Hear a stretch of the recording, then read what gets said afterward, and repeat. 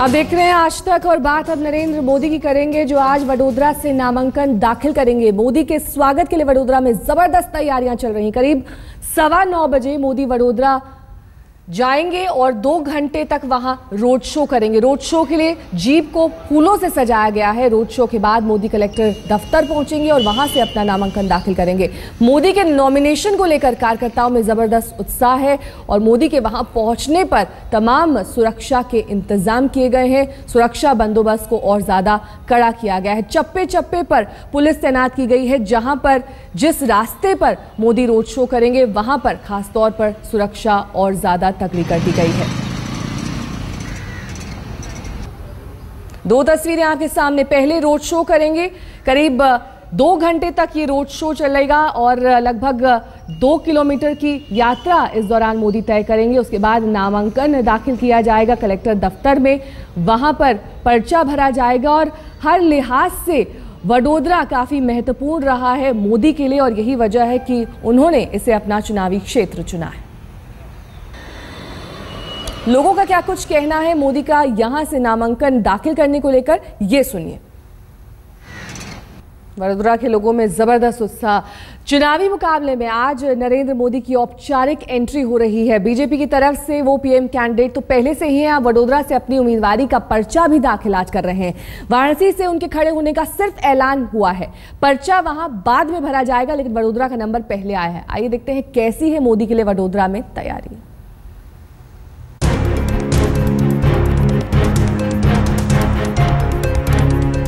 वडोदरा वालों का इंतज़ार खत्म हुआ। वाराणसी के बाद मोदी पर्चा भरने पधार रहे हैं। और इस आगमन की आहट अभी से सुनाई दे रही है शहर में। जिस शहर को देश के प्रधानमंत्री पद के उम्मीदवार ने अपना चुनावी क्षेत्र चुना हो, उत्सुकता तो थोड़ी बढ़ ही जाती है। और वडोदरा तो मोदी के लिए चुनाव भूमि से पहले कर्म भूमि रह चुका है। वडोदरा के साथ मोदी की कर्म भूमि का वो कनेक्शन भी हम आपको बताएँगे। शहर को अपनी चुनाव भूमि बनाने के पीछे समीकरण भी बताएँगे। लेकिन उससे पहले बात मोदी के पर्चा भरने से पहले समर्थकों के उत्साह की। यहाँ तो बर्बाद किया वहाँ और ज़्यादा बर्बाद करेंगे और इसलिए मेरे भाइयों बहनों मोदी भले ही पर्चा भरने आ जाने वाले हों लेकिन उनका झंडा चुनावी बिगुल बजने के साथ ही लहराना शुरू कर चुके थे समर्थक। पर्चा भरने से पहले मोदी का समर्थन करने वाले जिन चार लोगों के नाम पार्टी ने प्रस्तावित किए थे। उनमें राजमाता शुभांगिनी राजे गायकवाड़ के साथ ठेले पर चाय बेचने वाले एक शख्स का भी नाम है। मेरे को बहुत अच्छी फीलिंग हो रहा है। मेरे जैसे छोटे चाय वाले का एक नाम ठेकेदार के लिया है तो मेरे को बहुत खुशी हुई है। और जीवन में किसको बता नहीं सकता इतनी खुशी है मेरी।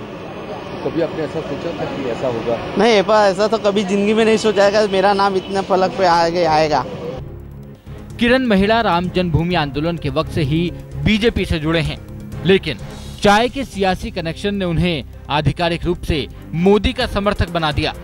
वडोदरा के हज़ारों चाय बेचने वालों में से ये संयोग भी हो सकता है लेकिन कार्यकर्ताओं की नज़र में ये संयोग नहीं बल्कि एक बड़ा संकेत है। ये चाय वाला गुजरात में बड़ोड़ा के अंदर पार्टी का एक वर्कर है छोटा वर्कर है एंड हैंस उनका ये फॉर्म भरने में प्रमोटर का स्वरूप ले रहा है। मोदी का चाय कनेक्शन हो या फिर विकास पुरुष की छवि की हवा वडोदरा पहुँचने से पहले ही मोदी लहर की रफ्तार साफ़ दिखाई दे रही है। पर्चा भरने से पहले भी मोदी इस लहर का दीदार करना चाहेंगे। अपने चुनावी काफिले के साथ पूरी हवा देने की कोशिश करेंगे। हालाँकि इस काफिले में बीजेपी का कोई और बड़ा नेता नहीं होगा। वैसे भी गुजरात में मोदी के सिवा दूसरा कद्दावर है भी नहीं।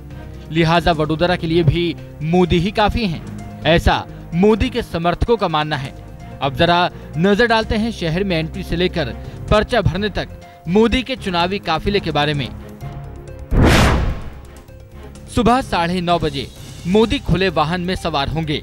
मोदी का काफिला कलेक्टर ऑफ़िस के लिए रवाना होगा। सुबह 11 बजे, करीब दो घंटे की रैली के बाद मोदी कलेक्टर ऑफ़िस पहुँचेंगे। वडोदरा में चुनावी माहौल बनाने के लिए मोदी के लिए ये दो घंटे निर्णायक होंगे। इसीलिए पौने दो किलोमीटर की दूरी दो घंटे में तय कर मोदी शहर के अहम ठिकानों पर रुकते हुए, समर्थकों से हाथ मिलाते हुए सुरक्षा के लिए तैनात 1100 लोगों के साथ कलेक्टर ऑफ़िस अपना पर्चा भरने के लिए पहुँचेंगे। अहमदाबाद से गोपी मनियार के साथ वशिष्ठ शुक्ला, वडोदरा, आज तक।